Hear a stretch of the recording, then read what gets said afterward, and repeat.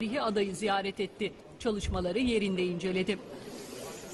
Yassı ada demiyorum, yaslı ada diyorum. Temennim Neresi odur ki be? sadece ulusal değil, Canına okumuşsun. uluslararası bazda